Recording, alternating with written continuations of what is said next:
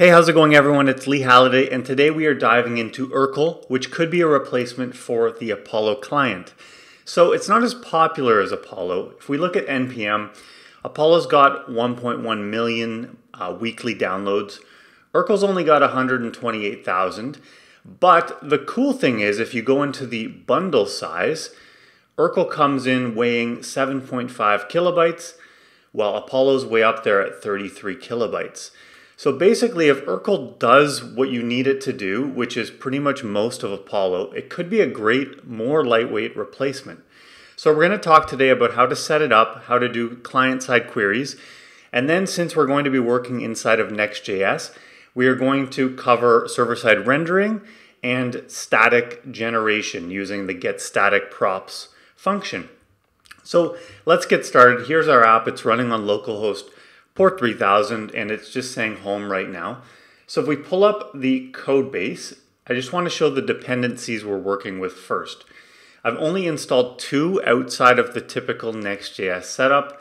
That would be GraphQL and Urql itself. So first, what GraphQL API are we working with? Um, I've pulled up here in my uh, GraphQL playground we're using GraphQL Weather API.herokuapp.com. It's just a simple GraphQL API we can connect to. And here I am querying the city weather where I live right now, Toronto weather, where we're asking for the, the summary of the weather, the temperature, and we're passing in one variable here, city of Toronto. And this is what we get back. So that's the data we're working with. So moving back over to the code, what we're going to get started with is actually setting up the Urql client. That will be the first step. So I've already got the imports here. Seems like a lot of them, but it's not so bad once we get going.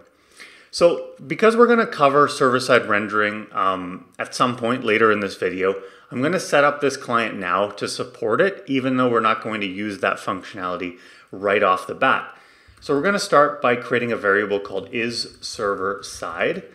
And we're going to set this by looking at the type of window. So if it's equal to undefined, that means we're on the server because there's no there's no window on in Node, I guess. So that's that's how you do that. And next, we are going to set up the SSR cache. So SSR cache, and that is equal to SSR exchange, where we have to tell it whether or not we're on the client or not. So we can just say it's the not of is server side. Um, this thing here will be in charge of basically recording the queries on the server so that when we get into client land, it doesn't have to re-execute those same queries. But forget about that for now. We'll come back to it later. So now we're going to set up the instance of the Urql client itself. So this will be using the create client function. And we just have to pass in a few things. We have to pass in the URL that we're connecting to. So I'll just pop over here and copy that, paste it in. And then we're going to set up something called exchanges. And if you've worked with Apollo client before, to me this is most similar to what they call links. It's sort of like pieces of code that can intercept and modify the outgoing uh, GraphQL request and sometimes stop it um, before it actually goes out onto the, onto the internet. So we're using a few exchanges here. The first one is the dedupe exchange. Um, I assume this is if you're querying the same query twice, it dedupes them, so it only passes it to the server once. Then we've got the cache exchange. No, next we have the SSR cache. And then finally we have the fetch exchange. Uh, in Apollo links, it's the same way. The, the last link or the last exchange is typically always the one that goes out across the internet and makes the actual fetch request. So that's setting up our client. We're not going to use this next thing I'm going to show, but just if you needed to pass credentials in headers and stuff like that, you can do that by passing a function to fetch options where you can return things like the headers. So we're just going to leave it at that. We're not going to add any additional headers, but this is how you would add like your authentication header or authorization header or whatnot. So with this setup, we are going to export both the client and the SSR cache because we are going to need that when we move into the SSR territory. So with our client setup, We basically need a way to provide this to the rest of our application. And that in Next.js is done in the pages underscore app component, which wraps around every single page of your application. And we are going to import provider from Urql, from the package itself. And then we're going to import the client and the SSR cache from this uh, file we just set up, creating the Urql client. So let's wrap the provider around our page, the component, like that. And we need to pass the client as the value prop to our provider. That's it for now. We're not going to touch this till we get to SSR, but this will basically provide our client to the rest of our application. So now we can move into the page itself, which right now is not doing very much. It just says the word home inside of a pre-tag. So we're going to start by um, uncommenting out those two imports. So we're using a use query hook, so very comfortable if you've been working with Apollo client before. And we're also going to access the client and the SSR cache as well from the, the file we set up. So the first thing is we need to declare our query. So we're going to say const weather query is equal to um, backticks. So in Apollo client, you're typically used to using GQL here. Uh, it doesn't seem like you have to do that with Urql, so we're going to leave that off. And I'm going to go back over to um, this GraphQL playground and just copy and paste this query. So why don't I just cover this query quickly? What we're doing is we're saying to GraphQL, we're going to do a query as opposed to a mutation or a subscription. And we're going to give a name to that query, Toronto weather. This could be called whatever you want. It's up to you. And we're saying we're going to be passing in a variable called city of type string. It's required with this bang here. And then we run the actual query, get city by name, where we pass in um, as a field here the variable value city. And then the rest is just the different fields we're going to ask uh, GraphQL to give us. So with this in place, we can move down into the, the uh, component itself, the home page. And what we're going to do is we are going to say const result is equal to use query. And um, this is a little bit different than Apollo. What you do is you pass an object in and you say, okay, my query is weather query, the variable from up here, and my variables are city of Toronto, just like that. So inside of result is where you get the data or whether it's loading or whether there's an error. So we'll say here um, data, loading, and error, and we'll just grab that from the result object. So now we can do our, our handling like if loading, return loading, if error, return error, oops, just like that.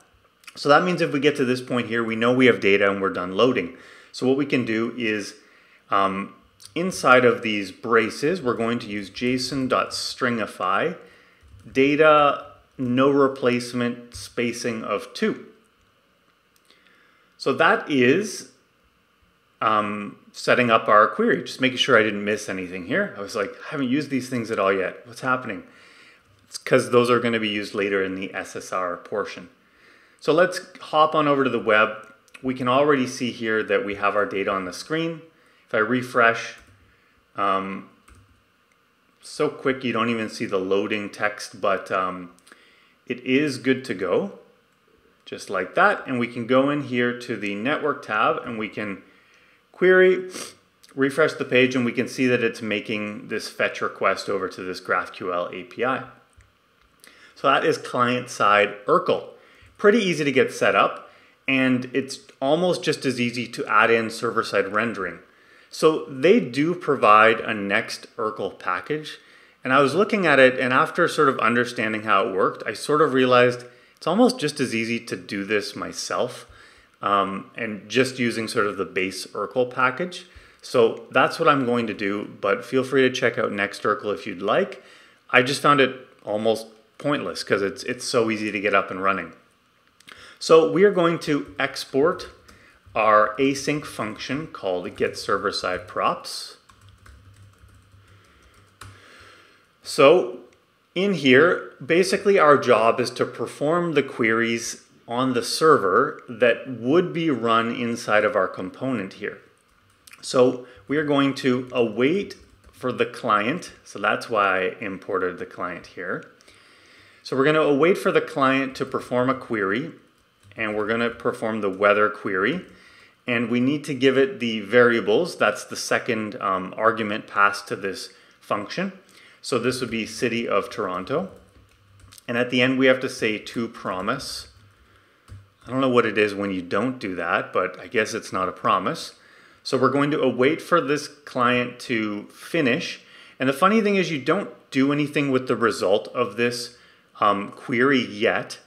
Basically, what you do is you come here, and the job of get server-side props is typically to return props that will be passed into our um, component. Um, our, you could receive them here, so any props that you return from this get server-side props, you could receive them here so that you can then render your component server-side. But what we're going to do is we're going to return that, the props, but the prop we're going to return is called Urql state. And let's um, grab that. So where does it come from? It basically comes from this SSR cache that we set up.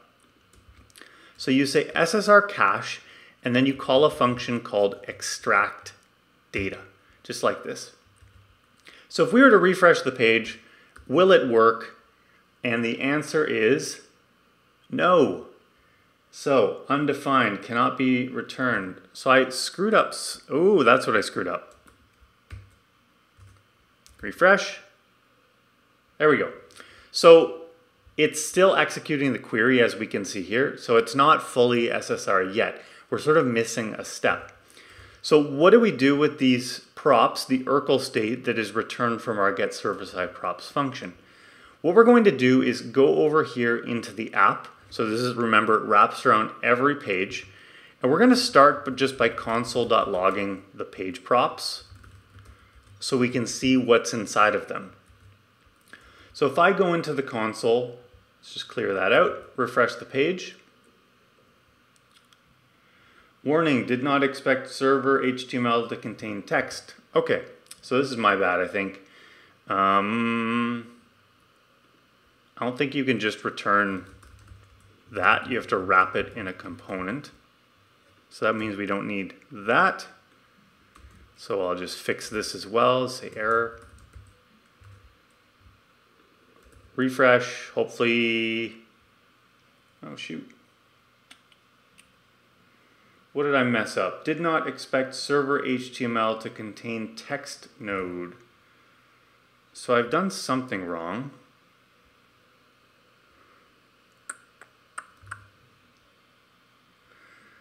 So get city by name in pre. Uh, you know what? I think the issue is right now, it's basically whatever's rendered on the server. It's expecting the client when it first renders to, to match the same thing that the server rendered. So right now it's saying like, uh, I've got a mismatch between them. That's my theory anyway. We'll see if that's true once we continue. So it was not that this has to be wrapped in a div, so sorry for wasting your time. But what I actually wanted to show is what's inside of this Urql state. So we'll take a look at that and then we'll see if we can get this error or this warning fixed in a second. So what you can see here in Urql state is basically the data that was returned from that query. So our next step is basically we need to take that data that was returned from get server side props as Urql state and then when we render client side, it's passed in as a page prop. And we need to basically take that data and stick it back in the Urql client so that when it goes to query this data on the client, it sort of realizes, oh, I already have this in my cache. I don't need to go out on the internet and requery it. I can just use the, the data that I already have. So we'll do that by saying if pageprops.urql state so if there is some state, we're going to access our SSR cache, and we're going to call a function called restore data, where we basically just pass in the page props dot Urql state, like that. So if I clear this out, let's see if my error goes away. Let's hope. Okay, it does. So that, that fixed that one problem. Basically, whenever you do SSR, the server has to render the same thing that the client originally renders. Otherwise, it, it wants them to be same and it doesn't like it and it gives you warnings. But let's go into the network tab and refresh. And this time we don't see any um, HTTP query, HTTP requests going across the internet because it's reusing that cache that we generated on the server and then restored in the client on the um, on the app on the on the page, the My App component that wraps everything. So at this point, we have done SSR. We're going to copy this, comment it out, and we're going to actually show how to do static generation. So I'm going to paste this in and I'm going to say get static props. So what's the difference between this two? This executes on the server during runtime. So every request that goes in, it's going to be executing this query. But say the data doesn't change very often and you want to instead generate it statically at build time.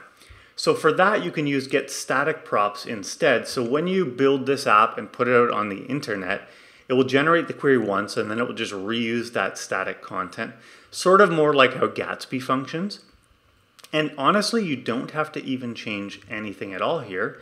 Just the name of this, everything else works the exact same. So I can refresh, it's still not executing the query. But what you could do here is you could pass in another one called revalidate, um, let's say every 60 seconds. So instead now what this will do is basically we'll reuse the same data for 60 seconds.